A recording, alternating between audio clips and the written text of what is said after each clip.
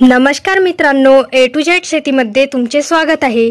जी लोक म्हणतात की शेतीमध्ये काहीच उत्पन्न निघत नाही किंवा शेती व्यवसाय हा बेकार झालेला आहे अशा लोकांनी हा व्हिडिओ शेवटपर्यंत पाहावा. कारण त्यानंतरच त्यांचा शेतीकडे पाहण्याचा दृष्टिकोन नक्कीच बदलेल. धुळे जिल्ह्यातील एका युवा शेतकऱ्याने आपल्या पाच एकरात पंच्याहत्तर दिवसांमध्ये तब्बल तेरा लाख रुपयांचे उत्पन्न घेतले आहे. तीन महिन्यापेक्षाही कमी कालावधीत एवढे उत्पन्न घेऊन या युवा शेतकऱ्याने आधुनिक पद्धतीने शेती केल्यास हवे तसे उत्पन्न घेता येते हे दाखवून दिले आहे. मित्रांनो ज्या शेतकऱ्याविषयी आपण बोलत आहोत ते सागर पवार नावाचे शेतकरी धुळे जिल्ह्यातील पाटण येथील रहिवासी आहेत. त्यांचं शिक्षण बी एस सी ॲग्री झालेलं आहे. आपल्या शेतामध्ये सागर पवार नेहमीच वेगवेगळे प्रयोग करत असतात.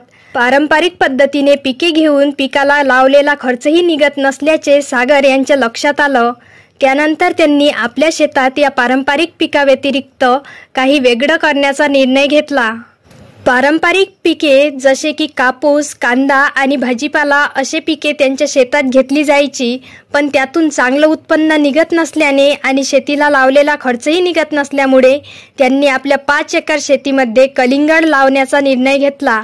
आणि आपल्या पाच एकरात मायक्रोन मल्चिंगचा वापर केला. त्यांनी दीड फूट अंतरावर कलिंगडाची पंचावन्न हजार रोपे लावली. त्यानंतर त्यांनी रोपांच्या उत्तम आरोग्यासाठी वेळोवेळी खते व औषध फवारणीकडे विशेष लक्ष दिले.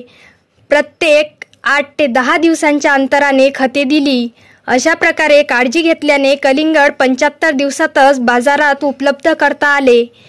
यामधून त्यांना तेरा लाख बत्तीस हजार रुपये मिळाले असल्याची माहिती त्यांनी महाराष्ट्र टाइम्सला दिली. महाराष्ट्र टाइम्सकडून मिळालेल्या माहितीनुसार सागर पवार यांची कलिंगड स्थानिक बाजारात न विकता दिल्ली व्यापाऱ्यांच्या मदतीने कलिंगड वेगवेगळ्या देशामध्ये पाठवले आणि मोठे उत्पन्न मिळवले.